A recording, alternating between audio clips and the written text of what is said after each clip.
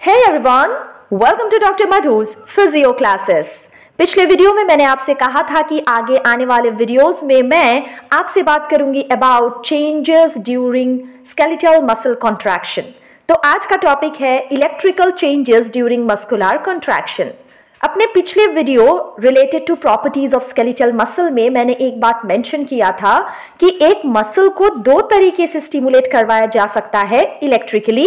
इधर directly muscle को हम स्टिमुलेट कर ले या फिर indirectly through a nerve stimulate होने पे मसल कॉन्ट्रैक्ट करता है और इस दौरान जो भी इलेक्ट्रिकल इवेंट्स या चेंजेस होते हैं, उनको मेजर किया जाता है एक कैथोड रे ऑसिलोस्कोप से। आज के वीडियो में बात करते हैं इन ही इलेक्ट्रिकल चेंजेस के बारे में।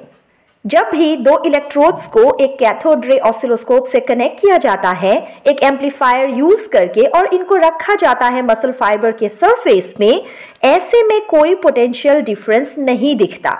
लेकिन जब भी एक इलेक्ट्रोड को मसल के अंदर इंटीरियर में इंसर्ट किया जाता है। ऐसे में एक पोटेंशियल डिफरेंस दिखता है अक्रॉस द सार्कोलेमा या सेल मेम्ब्रेन ये दिखता है कि अंदर नेगेटिविटी है as compared to the outside और ये जो पोटेंशियल डिफरेंस है, वो कंस्टेंट रहता है और इसको कहा जाता है रेस्टिंग मेम्ब्रेन पोटेंशियल और मसल जिस कंडीशन में होता है during this resting membrane potential इसे कहा जाता है पोलराइज्ड स्टेट और ह्यूमन स्केलेटल मसल में ये जो रेस्टिंग मेम्ब्रेन पोटेंशियल होता है वो होता है minus ninety millivolts so so, आपको रेस्टिंग मेम्ब्रेन पोटेंशियल समझ में आ गया। मतलब जब भी मसल रेस्टिंग कंडीशन में होता है तब जो बाहर और अंदर का पोटेंशियल डिफरेंस है एक मसल सेल में वो होता है रेस्टिंग मेम्ब्रेन पोटेंशियल अब जब भी हम मसल को स्टिमुलेट करते हैं, उस दौरान एक सीरीज़ ऑफ़ चेंजेस इस मेम्ब्रेन पोटेंशियल में दिखता है, जिसको साथ में कहा जाता है एक्शन पोटेंशियल और ये एक्शन पोटेंशियल अकर होता है in two phases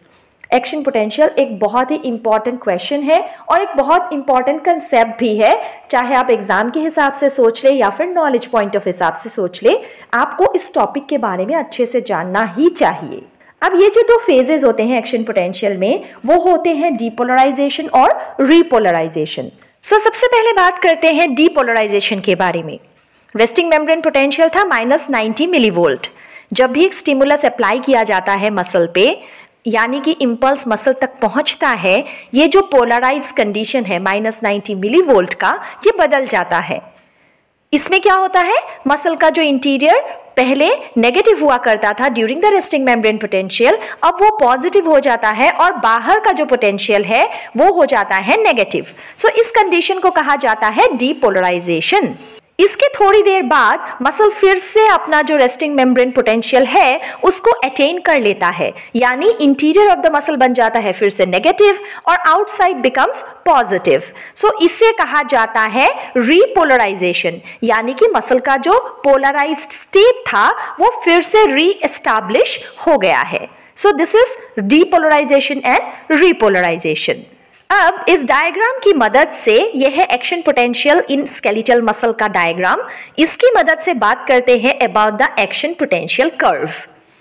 इसमें पहला टर्मिनोलॉजी है रेस्टिंग मेम्ब्रेन पोटेंशियल ये देखिए माइनस नाइनटी मिली वोल्ट में ये रिकॉर्ड होता है as a straight base line next concept है स्टिमुलस आर्टिफैक्ट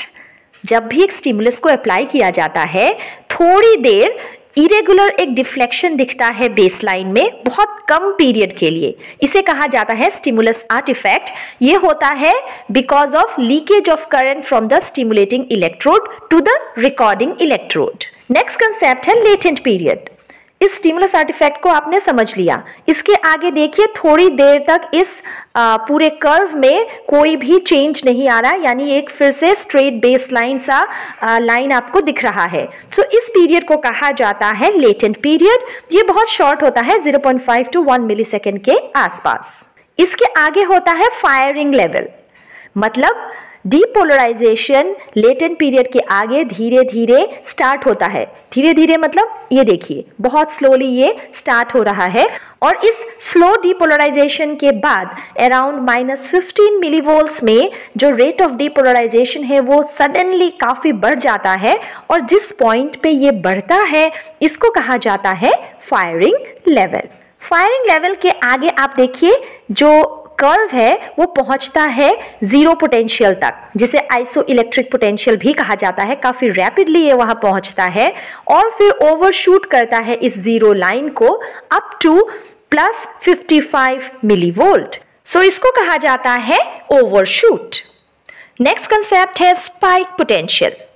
जब भी डीपोलराइजेशन प्लस 55 मिलीवोल्ट्स तक कंप्लीट हो चुका होता है, इसके आगे अब रीपोलराइजेशन स्टार्ट होता है। शुरू शुरू में रीपोलराइजेशन काफ़ी रैपिडली होता है और उसके आगे ये धीरे धीरे आगे बढ़ता है। ये जो रैपिड राइज है, इन डीपोलराइजेशन और रैपिड फॉल है, इन रीपोलराइजेशन इसको साथ में कहा जाता है स्पाइक पोटेंशियल और ये लगभग 0.4 मिलीसेकेंड तक एग्जिस्ट करता है। नेक्स्ट कंसेप्ट है आफ्टर डीपोलराइजेशन और नेगेटिव आफ्टर पोटेंशियल ये जो रैपिड फॉल है स्पाइक पोटेंशियल का, अभी मैंने जो मेंशन किया, इसके आगे रिपोलराइजेशन प्रोसेस थोड़ा स्लो हो जाता है और इसे कहा जाता है आफ्टर डिपोलराइजेशन या फिर नेगेटिव आफ्टर पोटेंशियल और इसका ड्यूरेशन होता है around two to four milli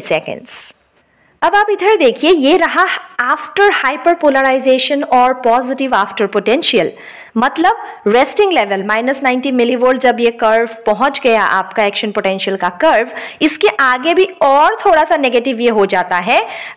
more than the resting level और इसको कहा जाता है हाइपर पोलराइजेशन या फिर पॉजिटिव आफ्टर पोटेंशियल और इसका ड्यूरेशन होता है अराउंड 50 मिली और इसके आगे फिर से नॉर्मल रेस्टिंग मेम्ब्रेन पोटेंशियल जो है, वो रिस्टोर या रीएस्टैब्लिश हो जाता है। सो so, ये था डिस्क्रिप्शन आपके पूरे एक्शन पोटेंशियल कर्व का। इस डायग्राम के मदद से आप इसे याद रख सकते हैं कि कहाँ स्टिमुलस आर्टिफैक्ट है लेटेंट पीरियड कौन सा है? देखिए, ये रहा फायरिंग लेवल यहाँ पे ओवरशूट होता है, इसे कहा जाता है स्पाइक पोटेंशियल फिर यहाँ आ जाता है आफ्टर डीपोलराइजेशन फिर आफ्टर हाइपरपोलराइजेशन और फिर इसके आगे फिर से नॉर्मल जो resting membrane potential of minus ninety millivolts है, वो अटेन हो जाता है। So, this was all about the electrical changes during muscular contraction. इस एक्शन पोटेंशियल कर्व से इसे समझा जा सकता है अब आने वाले वीडियोस में मैं आपको बताऊँगी कि किस तरीके से ये जो एक्शन पोटेंशियल कर्व के ये डिफरेंट नॉमन मैंने आपको बताए हैं, इसके साथ आयोनिक जो भी चेंजेस होते हैं मसल कॉन्ट्रैक्शन के दौरान, वो कैसे आप रिलेट कर सकते हैं तो बने रहे मेरे चैनल में और आने वाले वीडियोस को देखने के लिए चैनल को सब्सक्राइब कर दें। नोटिफिकेशन बेल को भी हिट कर दें ताकि जब भी मैं आगे वीडियोस अपलोड करूँ, आप तक ये नोटिफिकेशन पहुँच जाए। मेरे चैनल में आपको बहुत सारे दूसरे वीडियोस भी मिल जाएँगे। एनाटॉमी फिजियोलॉजी जैसे बेसिक मेडिकल और नर्सिंग सब्जेक्ट्स के और फिजियोथेरेपी से रिलेटेड एक्सरसाइज थेरेपी इलेक्ट्रोथेरेपी जैसे और कई सब्जेक्ट्स की। तो मेरे प्लेलिस्ट को आप चेक कर सकते हैं। अगर आपके पसंद का कोई टॉपिक हो, उसे देखें कंटेंट अच्छा लगे तो अपने फ्रेंड्स सीनियर्स और जूनियर्स में भी शेयर ज़रूर करें। Thank you so much see you soon